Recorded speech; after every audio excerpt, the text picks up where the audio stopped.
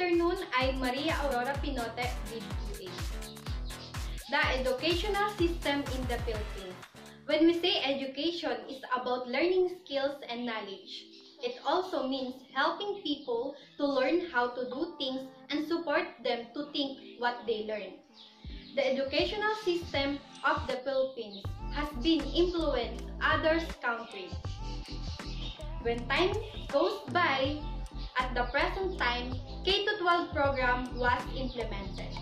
K-12 program covers kindergarten and 12 years basic education, 6 years of primary education, 4 years of junior high school, and 2 years for senior high school.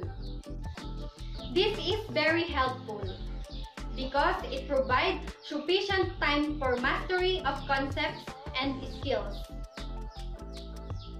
Develop lifelong learners and prepare graduates for tertiary education. K-12 program and 21st century skills is also connected to achieve goals. 21st century skills is divided into three categories. Learning skills, literacy skills, and life skills. Learning skills under critical thinking, creativity, collaboration, and communication. It teaches students about the mental process required to adapt and improve upon a modern work environment. Literacy skills under information, media, and technology. It focuses how students can discern facts, publishing outlets, and technology behind them. This is strong focus on determining trustworthy success and punctual information to separate it from misinformation that floods the internet.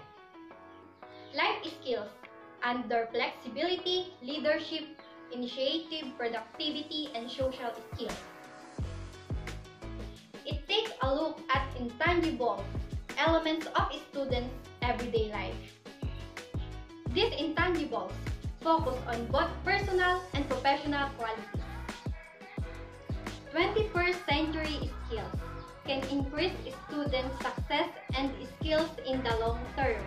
We strive for employable skills to ensure that students are properly equipped for their future.